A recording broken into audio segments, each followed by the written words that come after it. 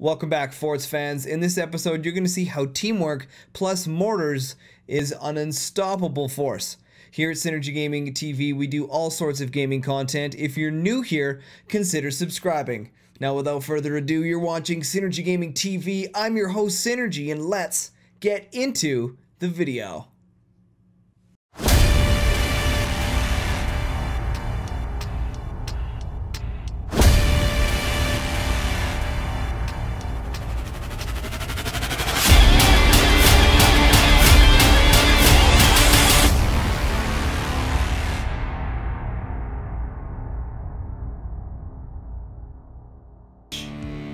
Okay, guys, welcome into another game here. This one's going to be super fun. We're definitely going to do mortars. Because I love mortars. This is where they're all just going to build gunners and we're going to get dumpstered. Okay, so Innocent said he's going to do uh, anti-air. So he's going to cover us. So we're going to have some teamwork on this one. This is one of the most important things that you need to do um, when you are going um, mortars is you need someone, if especially if you're doing it in 4v4s, you need someone to cover your anti-air for you just because it's so hard to do it yourself to try and build the mortars, to rush mortars out and then to build, um, to rush the mortars out and then to try and build your anti-air with that is just too difficult. So this will be, uh, this will be where it's at. Gotta try and build quickly here.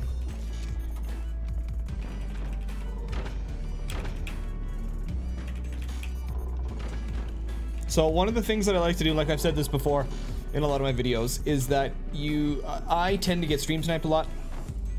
So I have a natural tendency to want to build base defenses and get my eco up first so that I can survive the early harass so that my team can um, come back and win, essentially and I tend to do a lot of tanking. So I just build really tanky. I've always built really tanky. Um, it's just something that needs to be that needs to be done in games that I play in. And it works relatively well when I have strong players in the team because they understand like the fundamentals of how to um, support build, how to um, Woo, that didn't go very well uh, and how to cover and fill in the holes, right? So mortars obviously have a weakness to anti-air. So when you're playing with someone um, that knows this, and they're like, well, if this is what you're doing, then I will build the opposite to help you um, build your, your weapons, right? So that's really good. Uh, Innocent Child in this game, he's going to be the one that uh, builds the anti-air for the insane mortars. So hopefully this works out relatively well.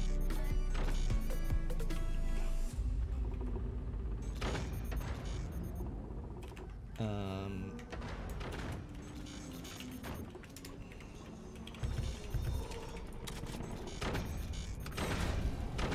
okay. I was just wondering what my teammate was doing. Uh, Innocent Child knows knows what's up. The fourth guy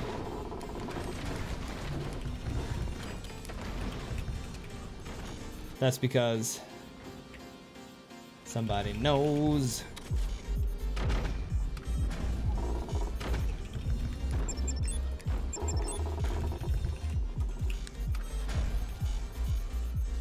Looks like they're all doing shit like that.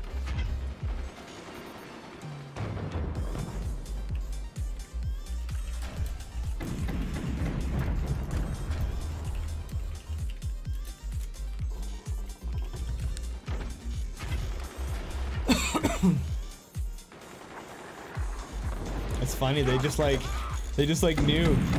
So that's one of the disadvantages uh, of trying to record a video while I'm streaming is because a lot of times the viewers are are in the stream, so it makes it really hard to. Uh,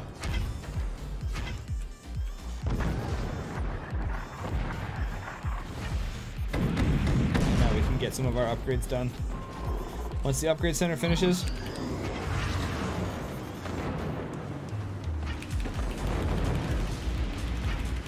So he fired his shot. I don't know if you guys saw that, but he fired his shotgun before um, the rounds got there.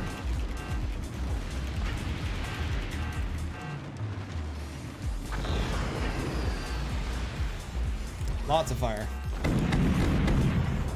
Oh man, we still don't have it.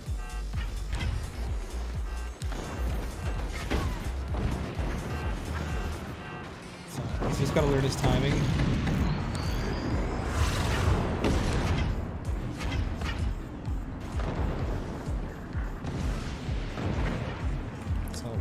Good. Two needs to come back just a smidge.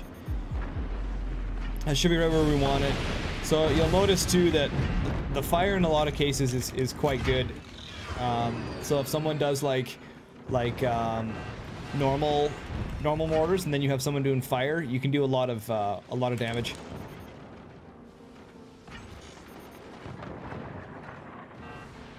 You can do a lot of damage that way. Uh, like long-term damage. So we will we're gonna upgrade real fast. We're doing this on uh, two fans as well. That's pretty good.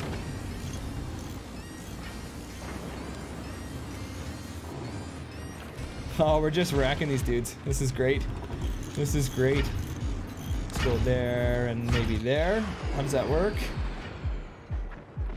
Bit far. Try that and that one. Perfect.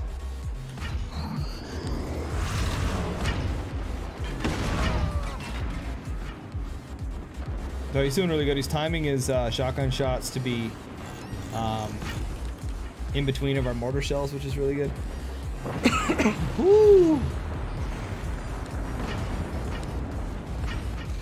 So we did double shotguns, double mortars kind of thing. Oh, I shot over. Over top Let's do that with that. Should be bang on. Yeah. Oh man, nobody can nobody can withstand that. And that's it. Mortars are very, very, very powerful if they are undefended. Crazy. That's the end of video one or game one. We'll see you in game number two. All right, and we're here for game number two. Now, this is like the fifth time trying to record this video. Somebody keeps goofing it up or saying something they shouldn't be saying or or something like that. So now the problem is the enemy knows exactly what we're doing because we told them that we were trying to film this. So that means that we're going to have heavy resistance. So hopefully Felix and I can pull this one out of our wazoos to uh, to bring out the win, but we'll have to see. It's gonna be it's gonna be a tough one. It's gonna be a tough one. It's to be tricky because we're starting with low eco as well. Um, hopefully Backbase knows to build shotguns and we can go from that. There's a lot of sitting and waiting in this one because of the low resources that you start with on the map. And that uh, it's going to make things a little bit tricky. There's also no starting storages, so that slows down any rush builds, which is really good. We've been finding a lot in 4v4s that players are still doing uh, missile rushes quite a bit. So if we can just nullify that basically by choosing maps that have different starting points where you can't just do the same build over and over and over again, um, then it changes the game plan. And a lot of players, believe it or not, a lot of players will get fumbled on uh, if the if the plan isn't exactly like the standard vanilla map. If the base isn't the vanilla map, then they get all screwed up on their build and it doesn't work. So hopefully um, we can get this underway. Now this is really, like I said, it's going to slow the game down because of the way the bases are designed, but I'm hoping that we can fix that with some strat some strategeries. That's the that's the game plan here. We basically you basically just have to focus uh, a lot more eco, which actually works out not bad because of how often I get stream sniped. So essentially, this map forces everyone to play the same way I play which slows the game down immensely, um, which I'm okay with. I'm okay with that. So you can see front base is doing a very small job there. Um, mid base is getting their fans ready. You can see them. It's probably going right there because it's all back racing.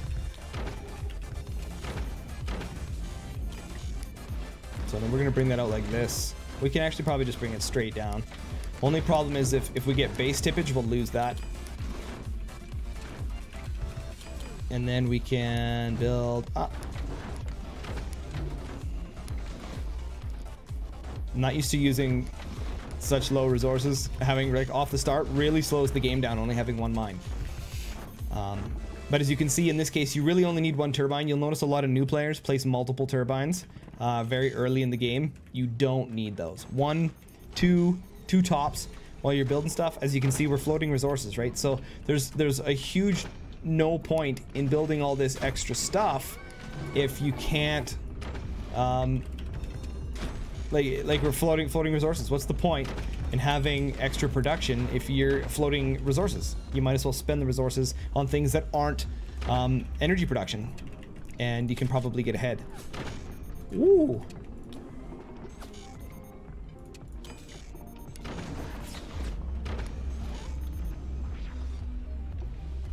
Let's do that. Doesn't look very steady.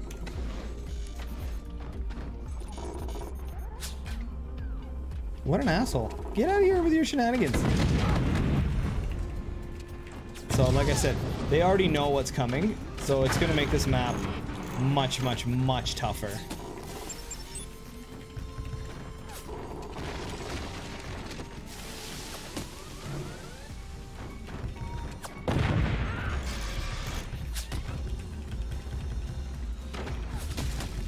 So that's really disappointing. But we're probably, I think regardless of whether or not we uh, we win this one, I think we'll put it in the video anyway. And we'll see how well it goes. Right, they're, they're obviously hard countering. They know what's going down. We'll see if Felix and I can handle this. Probably not, now that they're building flaks in there as well. We're gonna, we're really gonna be struggling here. I don't know if anyone's building flaks. No, so we have two guys not building flaks.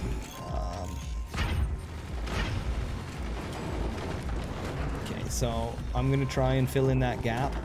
I don't think it's gonna work very well.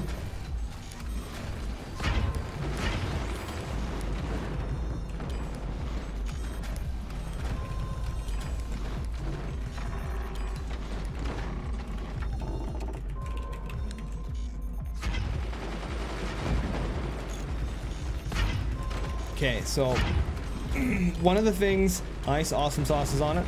Awesome ace, not awesome sauce. He's awesome sauce. um, so we've got some storages there. So this is, remember, these, these are the basic storages, right? So this is what most maps start with, and we're actually behind on that. Um, I don't even know if those are zoomed in correctly. They are. Okay, so we can back them up just a little bit. I'm going to build the tech as well. It's looking like we're going to need some help. I don't think... Um, Oh, we got shotties in the front. Okay, he's missing. He's missing. Um, so we'll build some as well. Hopefully Felix, if we can get rid of that that top dude to give us that that rain down support, that'll put us in a really good position. Um, I will destroy these then. We've got some shotguns happening now. So what we'll do is build our upgrade center and I'll remove these and we'll go with another set of mortars.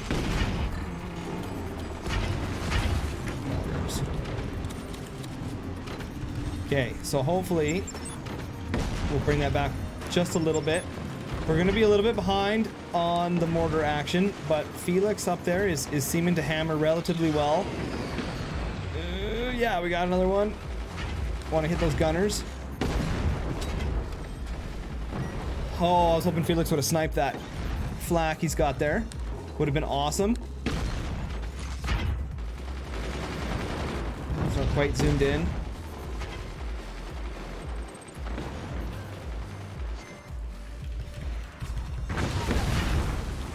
Okay, so we really, because the bases are smaller here, we really want to make sure that we have um, additional upgrades that get our upgrades on our on our production faster than usual. Um, that's going to slow down the um, firing a little bit. There's a 800 energy to upgrade.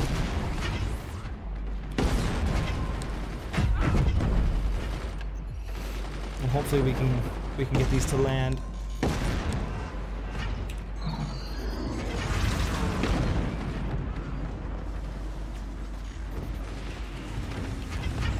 Hopefully, come on, there we go. So what I really like uh, about mortars is that they're kind of like this passive weapon that you can kind of um, like tab E into. Nice shots, Felix. Well done, buddy. So you can kind of tab E into them. Tab E basically selects a weapon like that, and then you can fire it one at a time. Um, works relatively well. So you can kind of AFK fire, meaning in which you can focus on building other things, and then um, you can also build into additional things. So because of that. So we'll fire those short. Um, there we go. So I got those dialed in. And when they're dialed in, now I don't have to aim, right? So I can just tab E and uh, or, or 1, 2, E, and then I can upgrade and focus building other things, which is really good. I was short on energy there. Short on energy. Well done. Well done. Well done. Okay, so Felix also's got a shotgun, helping to mow stuff down. Um, I'm just gonna focus straight on mortars. Um, there we go. I think it looks like everyone's leaving. And we'll just make sure these are dialed in the way we want it. That one's pretty much perfect. So now we don't need fire. We'll upgrade those. Can we wait? Don't don't use upgrade. Don't use upgrade or don't use ability. Save it. Save until I'm upgraded. Got him. And we'll get the next one. So this is going to be a little trickier because this island's going to be in the way. Okay, now we can use it.